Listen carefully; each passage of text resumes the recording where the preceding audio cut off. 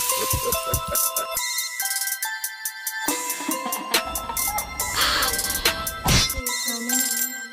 Guys? Welcome back to my channel. I'm Bunny Bear Chan. 那么本期视频的主要内容呢，就是一支与娇兰的合作视频，其实也不怎么算是合作视频，因为我要讲的全部都是我之前已经讲过的。他们家给我钱让我选一下最近我觉得比较好用的产品。对，当然了，如果你不喜欢这类的视频，可以点右上角的叉叉出去看一下我其他的就是冗杂的小广告的视频。OK，那么我废话不多说，马上开始吧。在视频开始前呢，请大家多拍弹幕、多评论、多关注、多收藏、多投币。如果的话，麻烦关注我微博、Instagram、学学。第一个要推荐的东西是什么呢？我们先从讲烂的东西开始说，就是我们玉林兰花的面霜。我就先从质地开始讲解了哈，那那个质地呢，就是这种哦，丝滑般的触感，非常的柔润哈。我好像抹的有点多。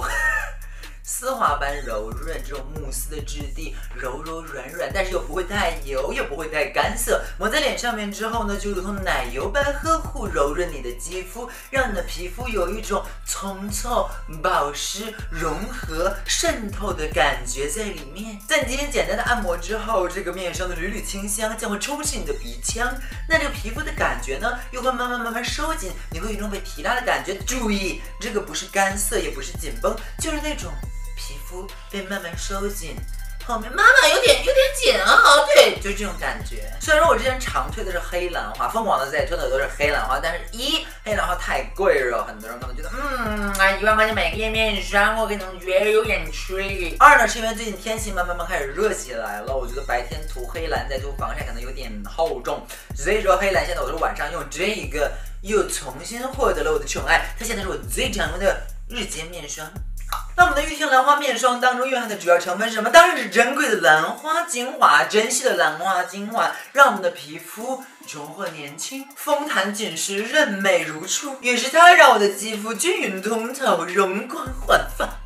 OK，我们正常一点啊。除了刚才想说的这个兰花精华，他们家还有一个特殊的科技，叫做什么呢？叫做全新细胞呼吸科技。它是用天麻作用于天然细胞调节剂，不拉不拉不拉因子，那个我也不太会念啊，我会打在下面。那天麻是什么呢？其实就是一种传统中药里面的兰花，对。而且呢，还能保护细胞生物能量的线粒体网络。OK，我们来说一些人话，简单来说呢，就是它对于我们所有可见老化症状都有明显的效果，不管是紧实度啊、弹性啊、均匀度啊，还是皱纹和细纹。那不拉不拉不拉的，而且它还可以让我们的细胞重新获得呼吸的力量，促进我们的细胞的生命力。好，在讲下一件产品之前呢，我要多一句嘴啊，就是关于娇兰，我特别特别喜欢娇兰，除了它非常有效、非常好用之外，还有一个非常重要的点，就是他们家在努力的传递美与力量，是拥有大爱的奢华之爱。怎么说呢？就打比方说它的玉婷兰花系列吧。娇兰在二零零七年开展的森林重建项目当中，使云南省天子区的兰花特别养殖基地得以恢复。他们一直在通过这个来践行保护兰花的承诺，而且他们在保护区当中重建热带雨林，相当于重新完善整个生态系统。就目前为止，他们已经种植了四百公顷的兰花，共计一万两千种野生兰花和二十五种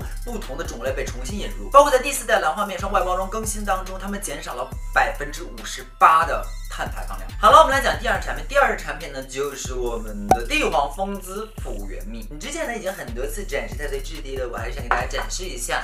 没有错，就是这种密密的感觉，它没有那么的流动，虽然也带有流动性，但它不会像水一样，它里面那种小颗粒嘛，小颗粒按开，就它就会变成一个就是融合在这个水里面的神奇物质，它可以促进我们皮肤，让我们皮肤变好，懂了吗？虽然这个东西看起来像油，实际上它是水润质地的，清爽不油腻，好吸收。那刚才我说这个小小颗粒呢是什么东西呢？它是没药树脂的精华，它是拥有加强修复和消炎的功效的，所以很多人会觉得，哎呀，它还蛮有修复效果的，主要原因是在这里。那承载这个小只是小有颗粒的这个液体的核心成分呢是纯净法国黑蜂蜂蜜和上品蜂皇浆。那娇兰的复原蜜刚才也说了，它主要的功效呢就是修复肌肤，让我们的肌肤变得更加的弹润亮。那它里面独有的黑蜂修复科技呢是在修复我们皮肤同时呢，让我们的皮肤。提高它自己的自愈力。这支精华我很喜欢跟他们家那个双萃精华一起来用啊，就双萃精华我之前已经推荐过，所以在视频里我没有推荐，但它依然很好用。这两支精华非常的适合放在一起来用哦。而且复原蜜其实可以跟很多产品一起使用的，比如说它可以跟粉底液搭配呀、身体乳搭配、面膜啊，它都可以搭配的，大家都可以用一用。刚才我们说到玉婷兰花的时候，说到了娇兰的这个保护的行为，那么说到帝王蜂姿依然还有。娇兰在近十年间一直在守护着法国乌埃上岛这个被联合国教科文组织。列为保护区的岛屿，并一直致力于乌埃上岛上面的黑蜂保护。娇兰加入了布列塔尼黑蜂保护协会，目标在二零二零年前在欧洲搭建一千万个新蜂巢，培育三万个养蜂人，为黑蜂可持续性保护行为贡献力量。可能这件事情很多人都是不知道的，不像是有的人觉得干了什么事儿都要让全世界知道。那第三样产品呢，是一个彩妆，是他们家的这个宝石唇膏啊。我最推荐的还是给狗子化妆的这个，嗯，它这个系列都很好看。他家的壳子和这个口红是分开卖的嘛，你可以自己搭。他们家新出的这个绝色、美丽、风华、完美这四个都很美，并且都很百搭。我手里面这二十四号色，我之前给大家看那个木玫瑰色，很漂亮，这个。很好看。最后一个要讲的是他们家这一支香水啊，樱之曼舞啊。现在开始渐渐进入夏天了嘛，天气慢慢炎热起来，我们需要一些清爽的、甜美的味道，但是太甜又太腻哦，太美又太普通。所以我选了一支花香混合着柑橘香气在一起的无法抗拒的少女香气给到大家。这支香水里面的这樱花，淡淡的樱花香气，配合着佛手柑的加入，营造那种新鲜、甜美、清新的感觉。水梨和西瓜的澄澈香。调把它变得柔和飘渺，又有紫罗兰和白麝香为它赋予了一种微妙的朦胧感，让整支香水都呈现一种水彩画般的诗意。喷上它，它会让你变得朦胧。